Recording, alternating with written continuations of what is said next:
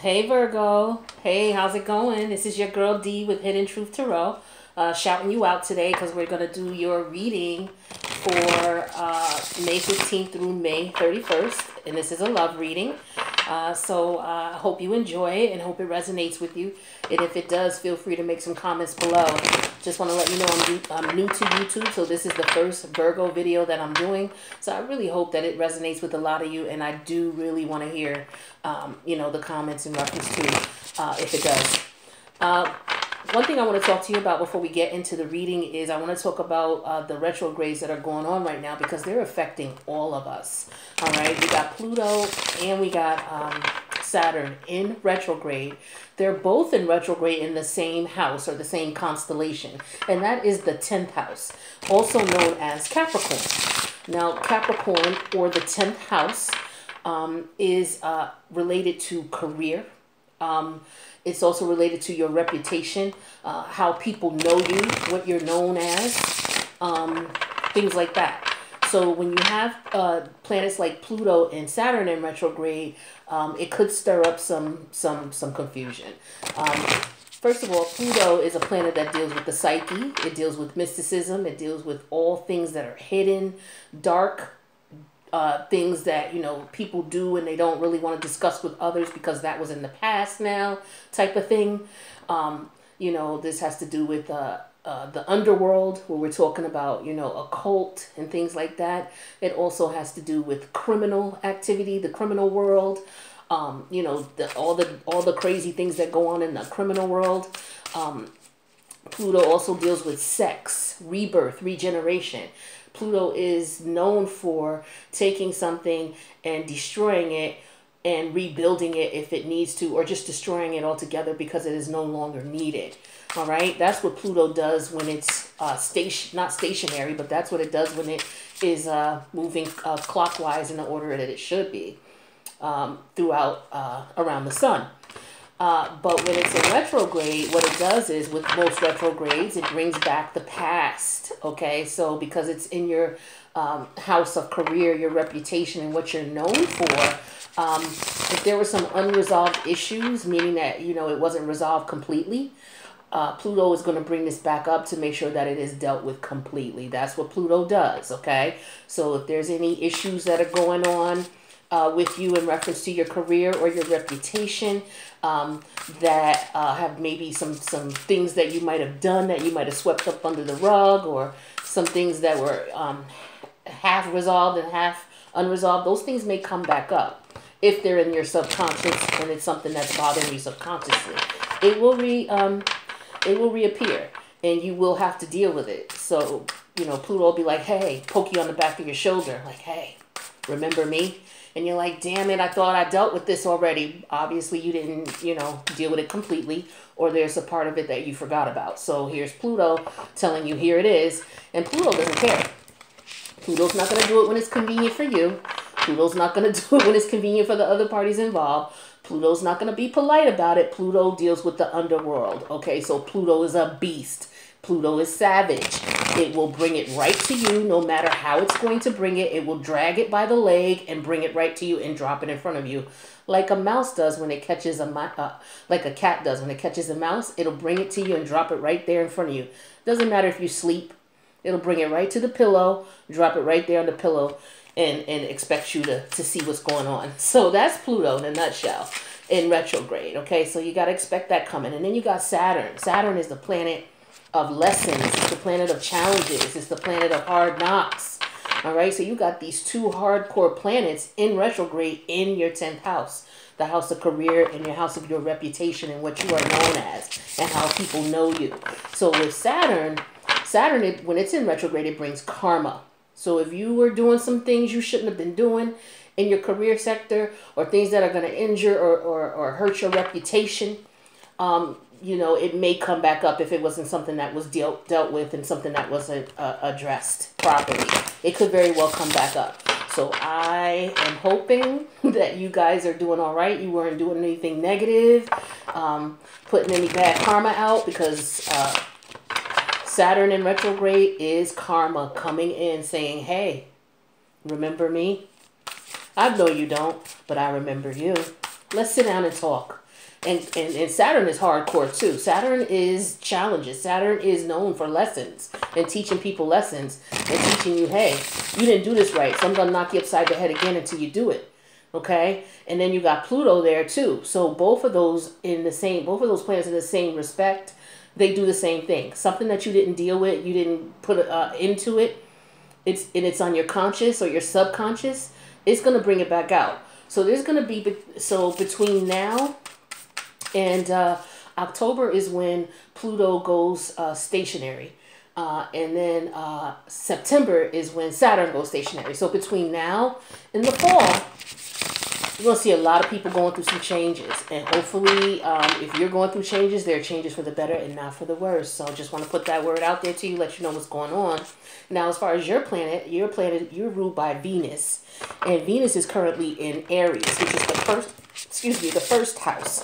Now, the first house deals with you, your physical appearance, your uh, your personality, like your characteristics, your traits, uh, what people first see when they look at you, you know, your general outlook on the world, your ego, you know, and uh, things like that.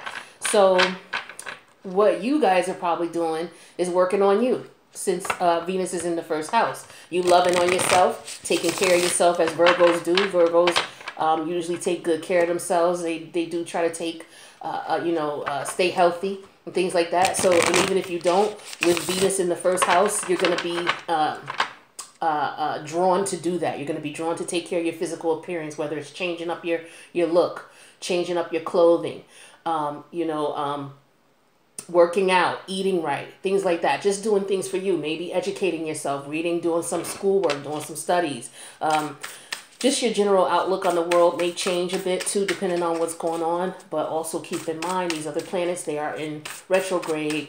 So you guys got to keep a watchful eye out on what's going on on um, people's attitudes and things like that. So when you see people going crazy and bugging out, you know, and summer hasn't even started yet um, where I am, you know, um, I'm in uh, the northeast part of uh, the U.S., uh, so it's just starting to warm up. Things are just really thawing out, you know. So uh, the summer hasn't even started yet. So it's going to be an interesting summer to say the least. So please keep your keep keep yourself clear. Don't do anything negative because as long as Saturn is in retrograde, karma will come back to you.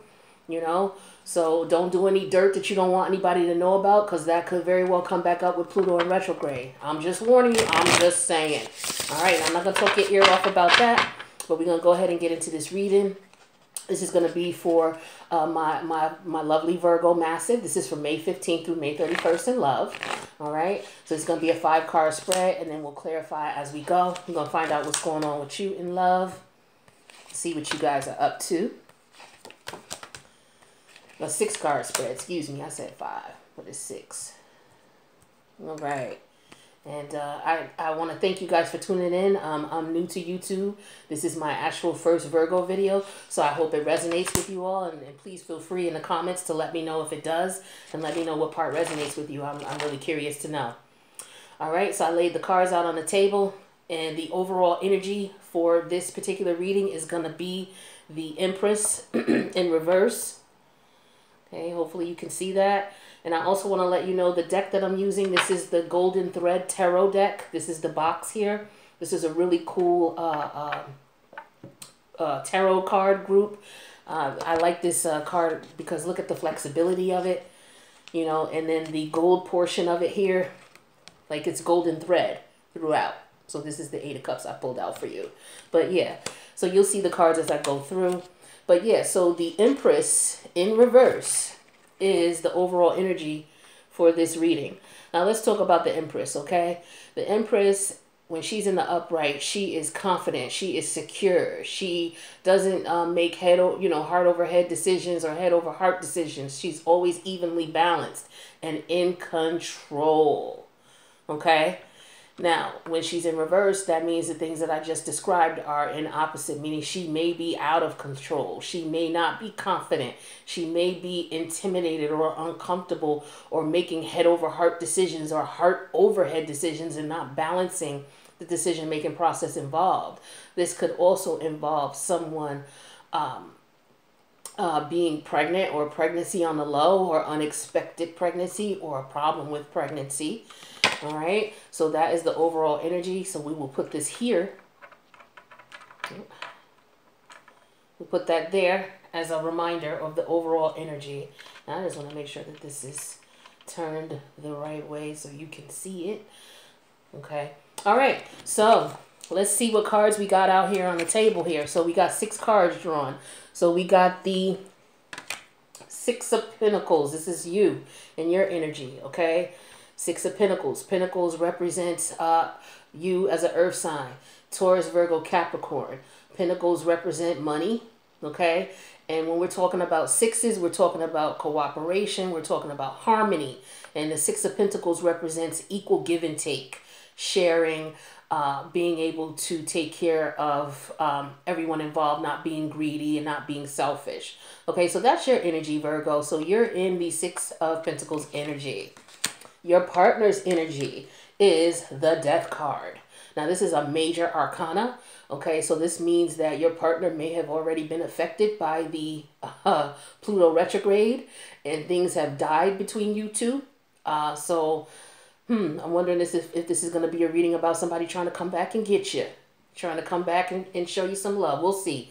But it looks like whatever was going on between you and your significant other that you're thinking about right now while this reading is going on, they um, at this point look at the relationship as it is no longer in existence. It is dead. Okay, the cycle is done.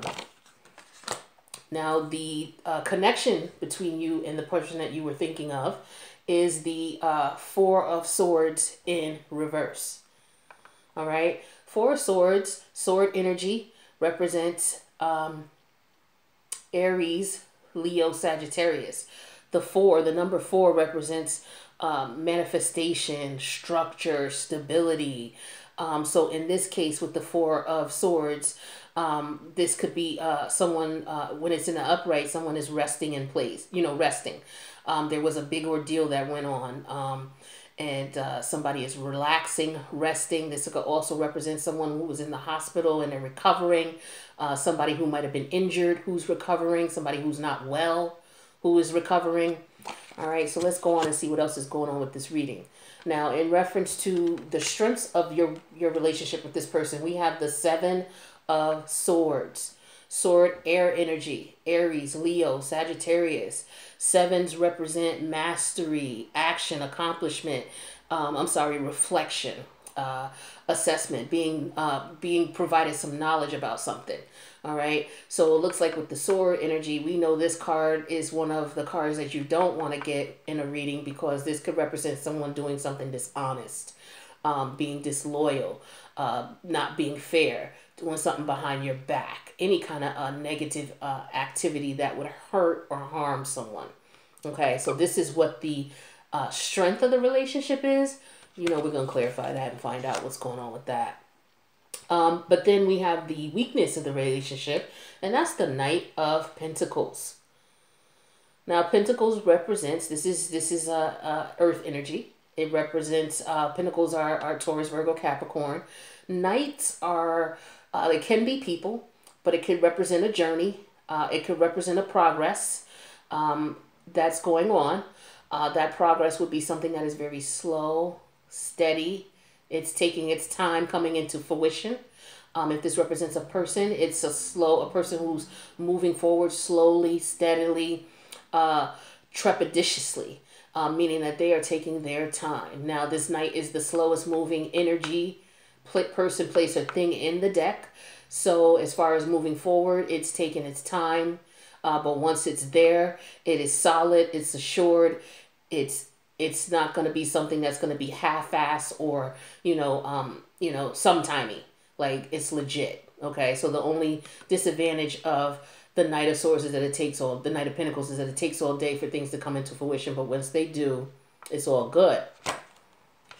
Now as far as the uh, outcome of the relationship situation i have the eight of cups for you. Now cups represent uh, water energy, which is uh, Scorpio, Cancer, Pisces. All right. And we know that eights represent action, accomplishment, mastery of something. All right. So it looks like um, with the Eight of Cups, somebody mastered the op the uh, uh, how can I say that? They mastered the ability to walk away from a relationship that they really were invested in. It took a lot of work because there's a lot of cups here uh, showing that. If you look at the traditional Rider Waite deck, you will see that there's a picture of a person. There's cups spilt over, eight cups spilt over, and there's a river. They're on a bank, a river bank, and uh, the person is walking away from the cups.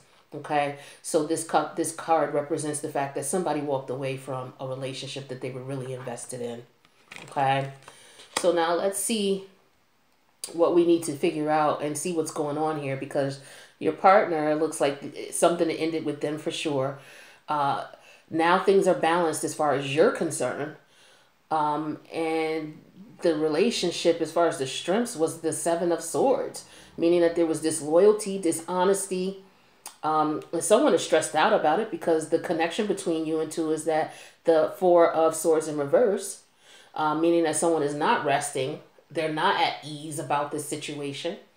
Um, and again, the uh, challenges in the relationship is the Knight of Pentacles. So maybe if there is anything that you guys are going to work on, it's going to take a while, a long process to do so. And then the outcome, it looks like um, it's not going to work.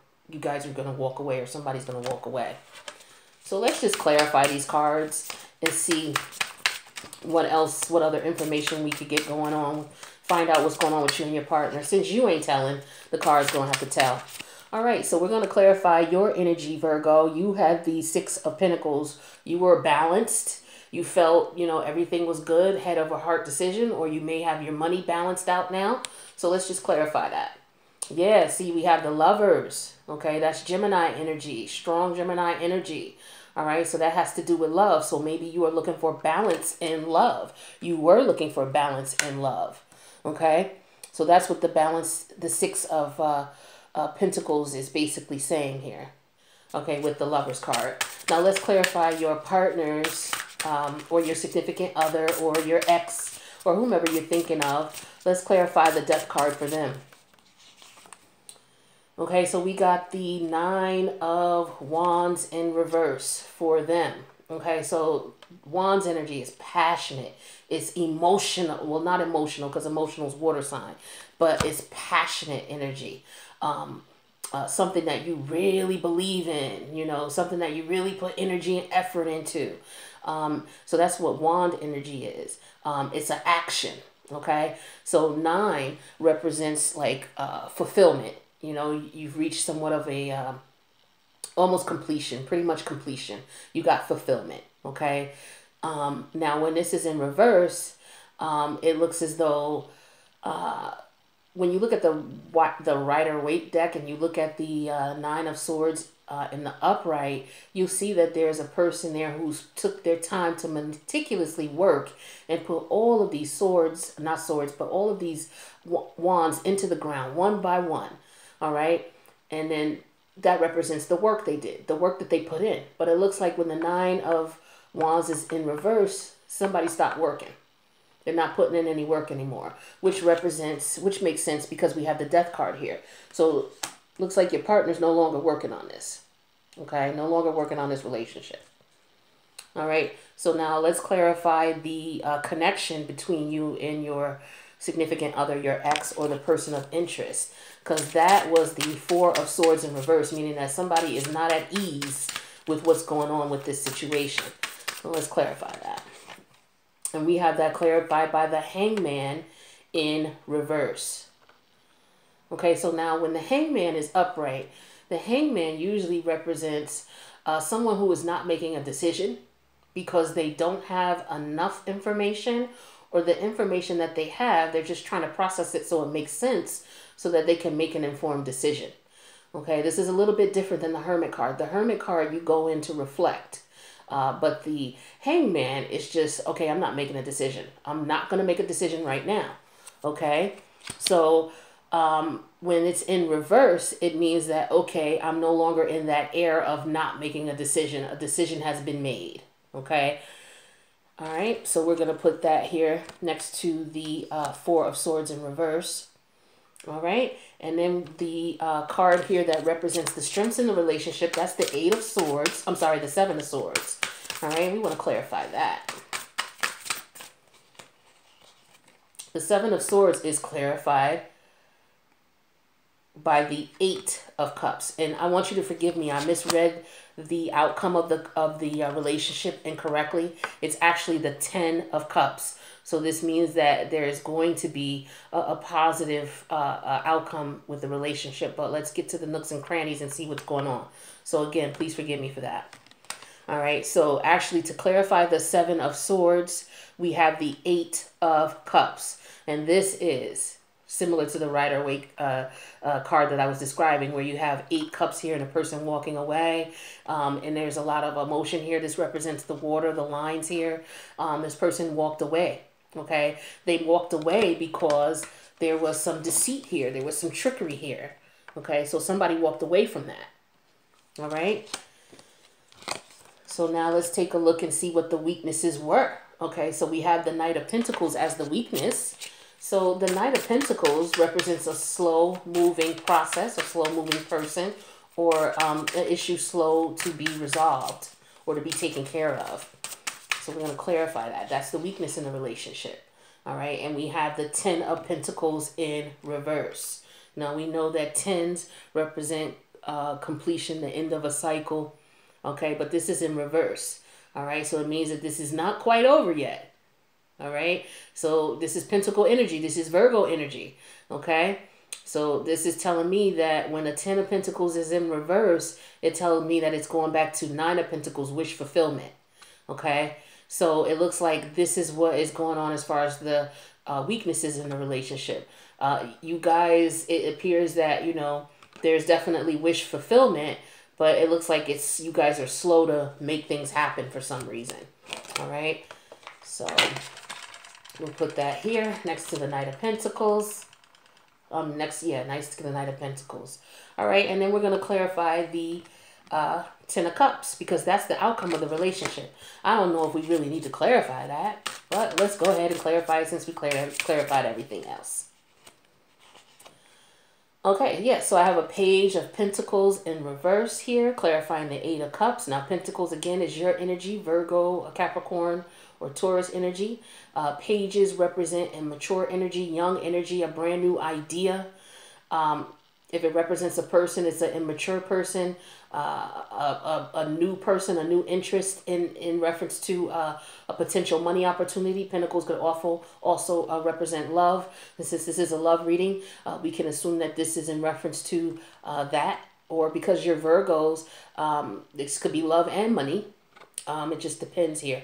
But it looks like the, the uh, page of Pentacles is in reverse. So it looks like there's not going to be anything, uh, any new, fresh idea. Meaning that this may not be a new love. It might be somebody uh, that you are already been in a relate. Well, obviously, it's someone you've already been in a relationship with, uh, because um, it looks like the death card occurred, um, and somebody wasn't working on this anymore. So uh, it could just mean that maybe this is a little bit stagnant. Um, somebody might be toying with the idea of uh, uh, a, a, a brand new start. Let's clarify a little bit more here because it doesn't, it's not making sense to me. You got the eight of cups, the ten of cups, but then you got the page of pentacles in reverse. So let's see here. Let's clarify that further. And we have the five of pentacles. Okay, so that's in reverse. Okay, so, all right, well, that makes sense now. Okay, so we have the Eight of Cups as the final out, uh, the Ten of Cups as the final outcome, and that was clarified by the uh, Page of Pentacles, further clarified by the Five of Pentacles in reverse. Okay, so it looks like there was a point in time where there was no love being exchanged, no brand new, fresh uh, ideas of love between you all, and then uh, somebody came out of the cold okay? With the Five of Pentacles here. So that's why you guys have the uh, Ten of Cups. So it looks like you guys are work. You're going to be working on things. So an X is coming back. Okay, long story short, an X is coming back. Um, but the overall energy, remember, is the uh, the Empress in reverse, meaning that this X is coming back. Uh, but for some reason, you uh, want to make sure that you have control over your emotions and that you just don't jump in. But let's see why. Okay, there was this, there was some deceit here, so we want to clarify uh, the Eight of Cups and the uh, Seven of Swords because the Seven of Swords was the original card that showed up within the relationship's uh, strengths. Okay, and I'm going to shuffle a little bit more. Drop the card. I had to pick it up. So we're going to clarify the uh, Eight of Cups. And that's clarified by the Tower. Okay. This is more Scorpio energy, more Plutonic energy. Okay. The Death card was also Scorpio energy, Plutonic energy. All right. So looks like something happened. All right. There was a definitely a Tower moment, which is why the Death card was here. Okay, so let's clarify the tower card a little bit further and see if we can find out what happened. We know you're getting back together, but what brought you apart? Okay, you have the King of Cups in reverse. This is Pisces, Cancer, Scorpio. This is actually uh, Cancer energy. Um, and when the King of Cups is in the upright, excuse me, upright position, he is a very loving, very intuitive, kind king he is somebody who is very romantic, very into his partner. Um, uh, his partner uh, uh, really adores and, and appreciates uh, the emotion that he uh, exudes uh, when he's dealing with his partner. Now, when he's in reverse, this means that it's the opposite. He's not being loving and kind to his partner, and or uh, he is not showing any affection. He's not being intuitive. Uh, he could actually be being uh, kind of a physically uh, uh, uh, aggressive towards the partner. And this is, again, energy, so I don't mean to say he or she as in the person. Usually these two cards do represent a person, but we both have, but men and women have both masculine and feminine energy.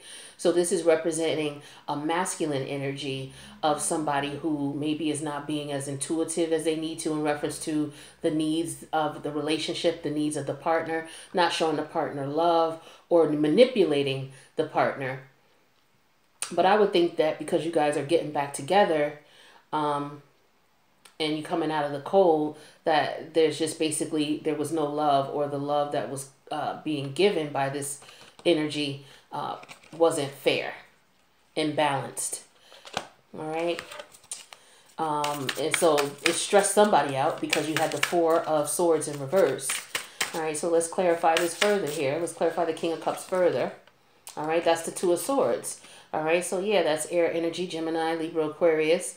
So yeah, it looks as though a decision had to be made as to uh, what was going to be done in reference to uh, the uh, relationship and the nature of the relationship. And it looks like a decision was made. You guys decided to come out of the cold.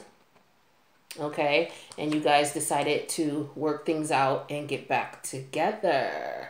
All right, Virgo. Well, I'm I'm I'm glad that things are working out for you and that you were able to work things out with your partner.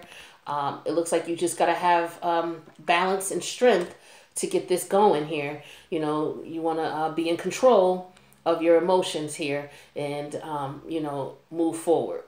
All right. So this has been your reading for May 15th through May 31st. Please feel free to comment below uh, if the reading resonates with you. And I will see you guys uh, for your June reading. All right, Virgos, take care.